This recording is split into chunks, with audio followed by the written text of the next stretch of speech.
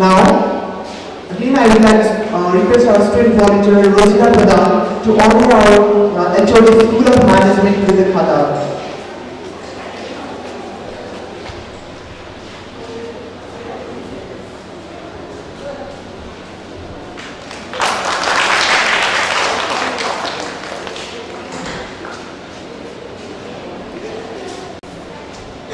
Now, गण मन अधिनायक जय हे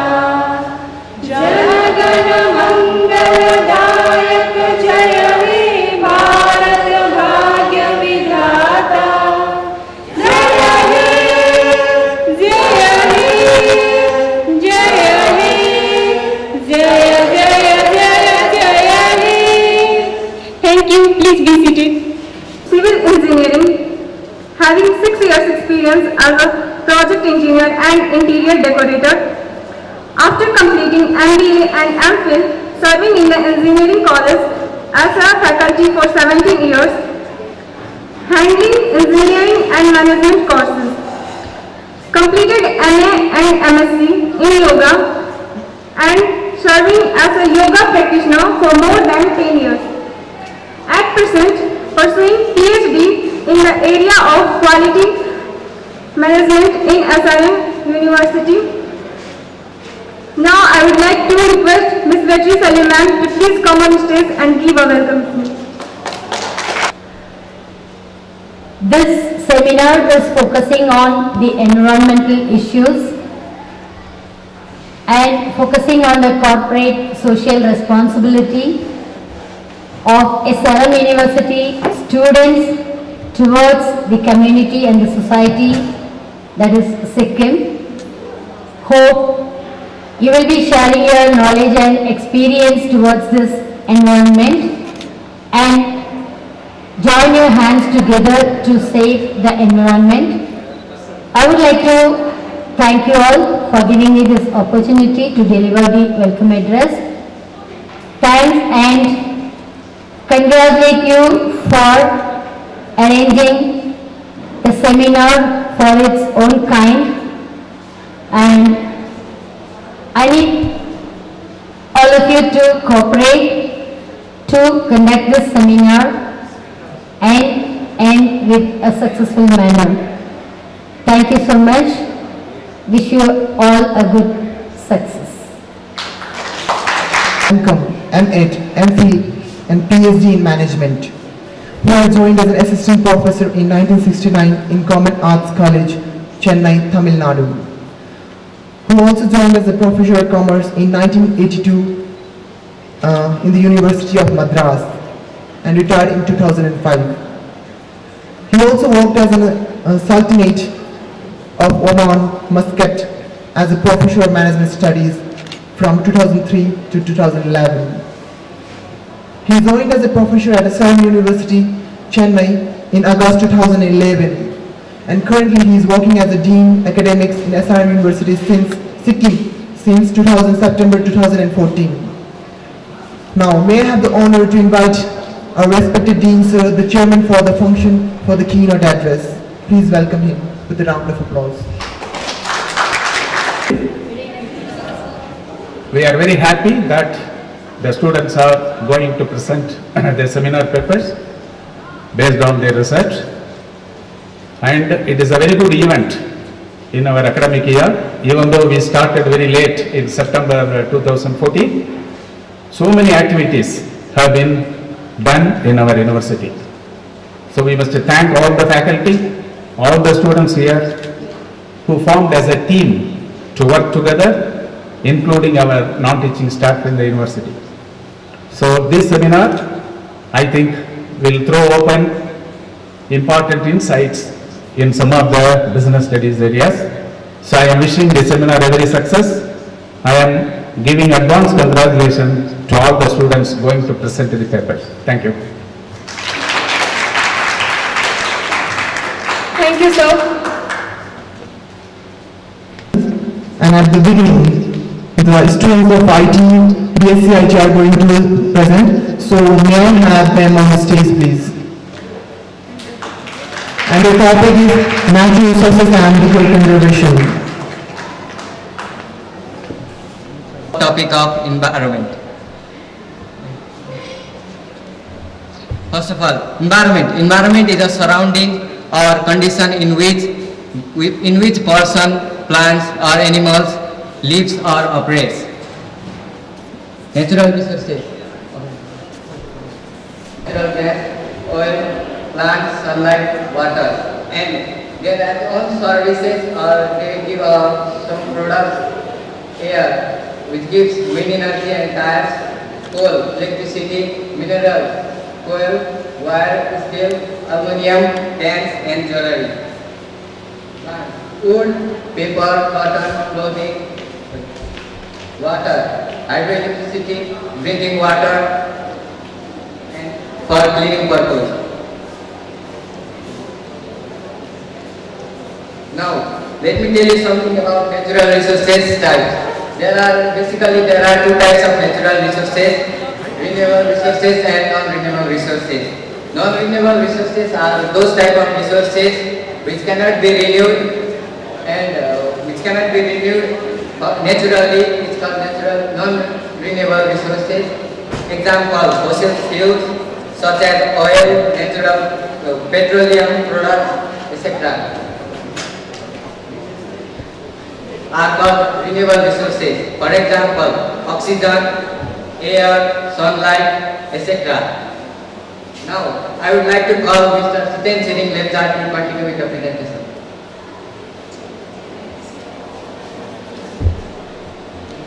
Renewable resources. Renewable resources are those kind of resources which can be renewed in the environment. They replenish on their own accord of time. They cannot, uh, they can be used over and over again. So that's an organic natural resources consisting of animal, trees, farms and all.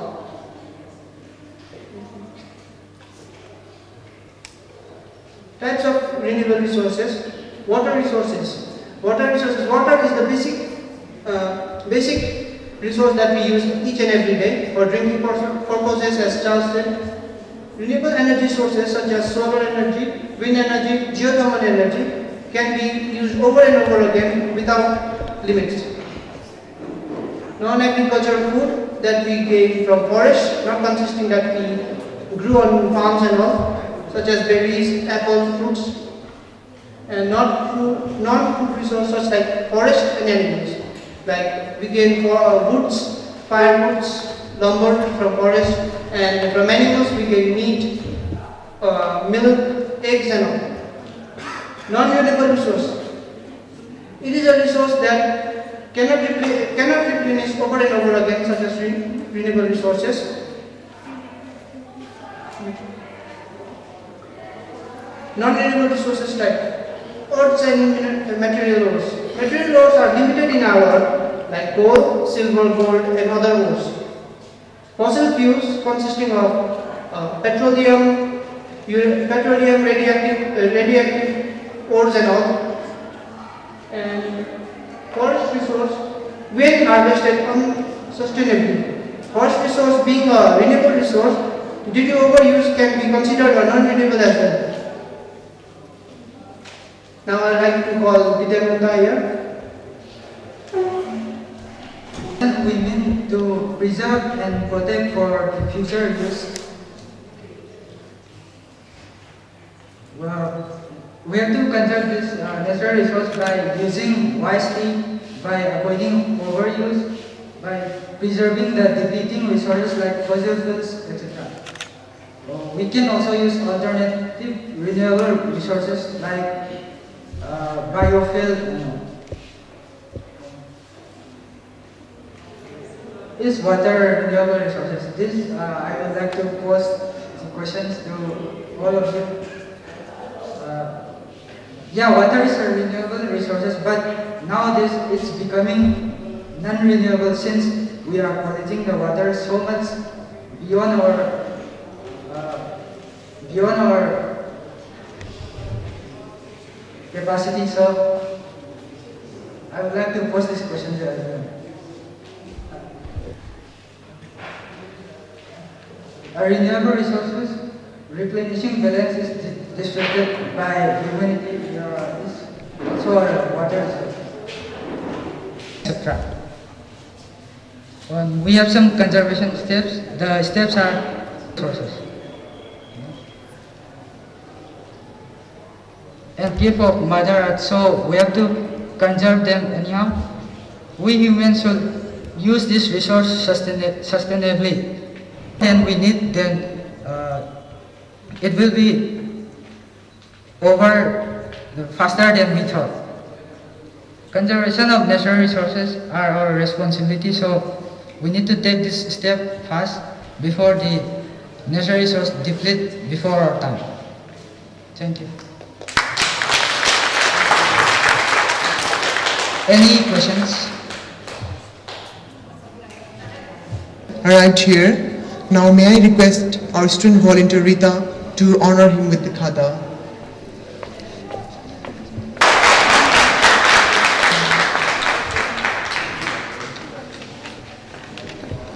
Welcome all of the students of BBA who are going to represent the presentation. Respected sir and my dear friends, today on seminar of environment issues, we have a short presentation of air pollution and I would like to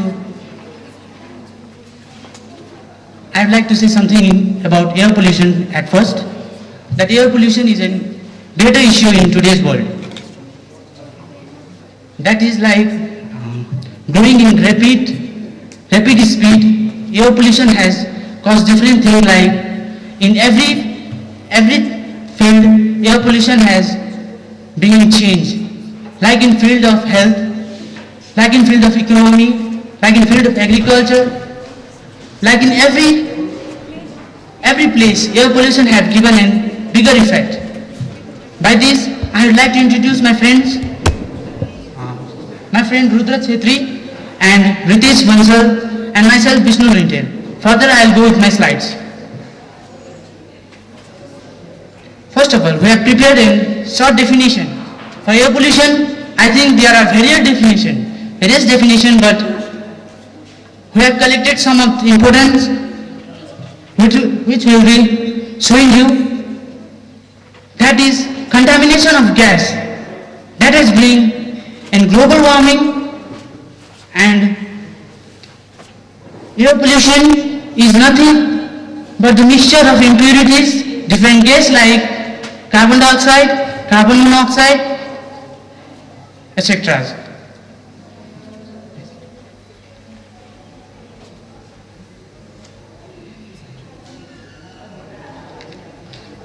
Next is impact in, impact of air pollution that in climatic system. In earlier days, climatic system, we have seen that predicted climatic system will be there. Likewise, in rainy season it will be rainy. Likewise, in summer system it will be sunny. Likewise, in today we can we can't expect anything. Likewise, in today's time, when it is sunny in morning, evening it will be raining. That is because of air pollution which is changing in temperature of earth. That has caused in climatic system. Another thing is health. Health we can know there are coming different skin diseases like asthma problem with small babies, newborn babies, that is affected by the air we are breathing in. Next is economy. Economy we have put on in this air pollution. It is quite interesting thing that economy has came in air pollution how? It's like that, that today's world, the changing of climate has destroyed the crop, yield in India that has been changing in further economy system, likewise growing in, likewise in growing of rising food products, rising cost of food products that is caused by air pollution as well as climatic change. So we have conclude economy also. Causes of air pollution. The causes of air pollutions are natural sources and human sources. In natural sources, smoke comes from wildfire. Sometimes the forest get fired due to the temperature or due to over temperature or heating. Some of the rocks heat, it, heat each other it, uh, by heating it create fire in the forest. It cause lot of smoke in the atmosphere and our air get polluted. And in volcano, volcanic eruption also, in volcanoes the some some kind of smoke is coming outside during during the volcano eruption along with the molten materials. It also affects our air. And methane, during the burning of methane, smoke is produced. It also causes our air and the human sources as we all know about the human sources like power plants and automobiles.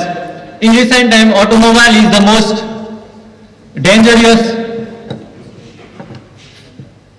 dangerous things which cause more air pollution. To control this our government takes initiative like removing of old cars which has used 10 years in Delhi and similar kind of initiative is taken as well as in Sikkim, not in automobile field, in the field of plantation and all. And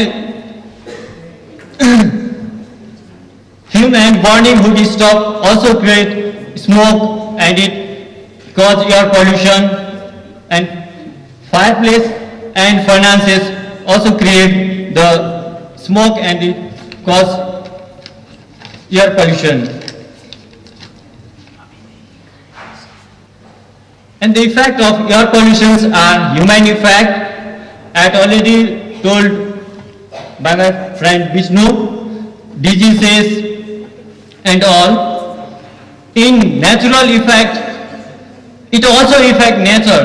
The natural effects are acid rain. Because of acid rain, our historical monuments like Taj Mahal are getting dangerous, dangerous by acid rain. And wildlife, because of air pollution, our wildlife are going in danger. And ozone depletion. Ozone depletion is depletion is the major problem in today's world because ozone layer protects ultraviolet radiation which comes from the sun. If nitrogen dioxide, sulfur dioxide.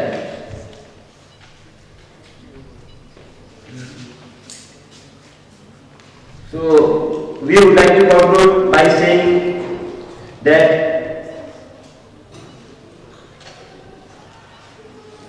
air pollution is actually a harmful substance in the atmosphere which damages the environment.